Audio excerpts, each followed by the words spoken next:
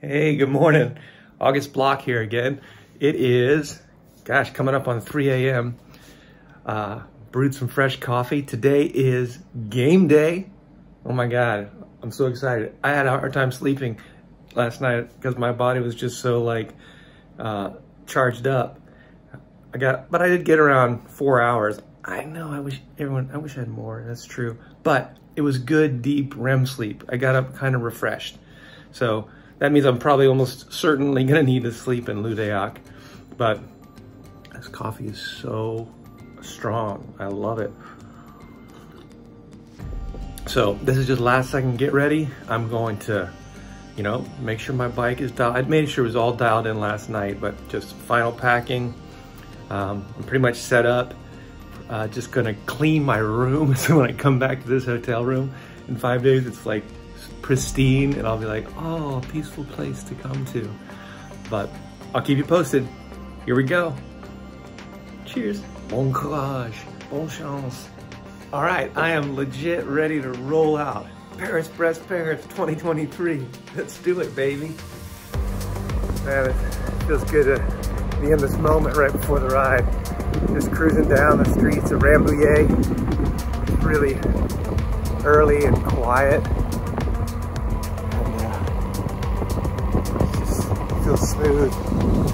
It's exciting. There's no one around yet. As I get closer to the starting, it's gonna obviously get quite a bit more busy with all the cyclists. We'll have about, say, 1,500 to 2,000 cyclists taking off in this round, in this wave. Uh, I'm in the very first wave, five o'clock. So we'll be out of there in front of the line.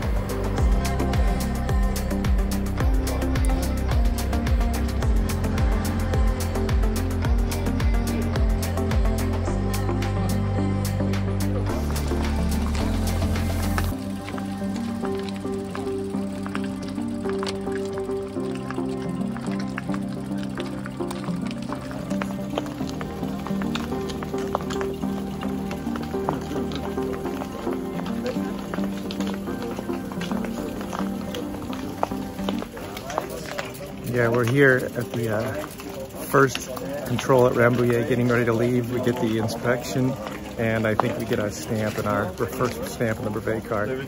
So cool.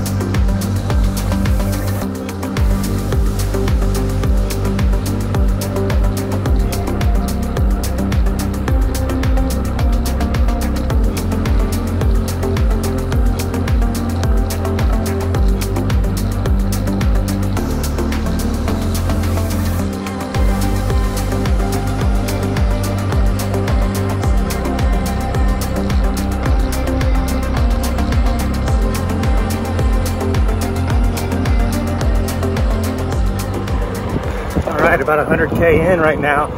Kind of finally the a big group broke up, so it's gonna be easier to not get, risk it by filming stuff, but the sun is up and the countryside's opening up. It's beautiful farmland out here. The roads are in fantastic condition. It's just been kind of thrilling cruising through all these villages and with a, a big group of riders. Just really fun stuff. Alrighty, more to come.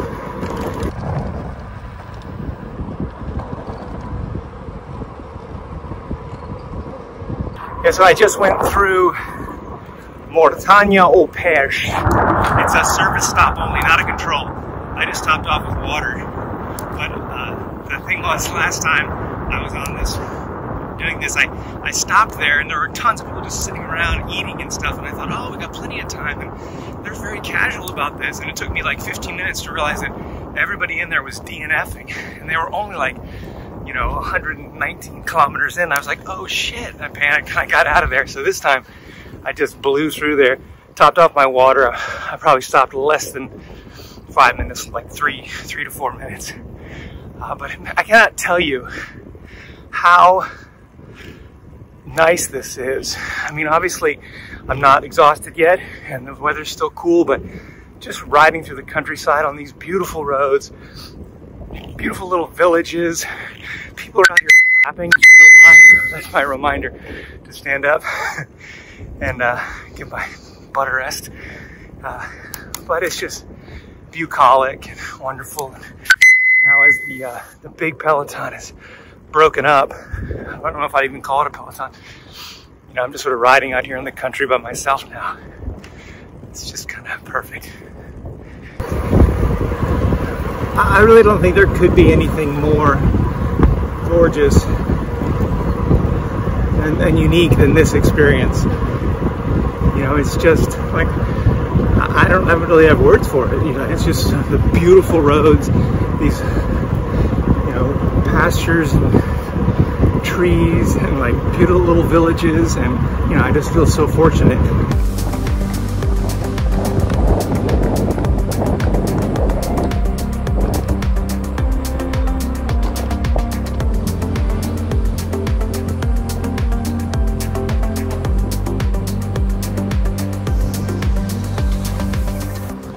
I've just arrived at the first control, Villaines, La Juhel, um, I know I'm killing these names, but made pretty good time.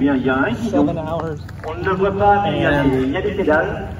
27 minutes. And uh, yeah, it's gonna go to control here. Okay, great. I was out of the first control at 203 kilometers, easily under less than 10 minutes. Took me seven hours and 27 minutes to get there. Not too bad and I just stopped for 10. So on to the next one. The next is, gosh, I'm gonna kill all these names. Fougères, Fougères. I want to pronounce them in Spanish. Um, 292. All right, let's get rolling. So it's pretty hot out right now. It's probably around, I don't know, 85. Really beautiful day, but pretty warm. And so there are a bunch of stands set up by just local people all along the route, just kids with big bottles of water, you know, ready to fill your bottles up for you.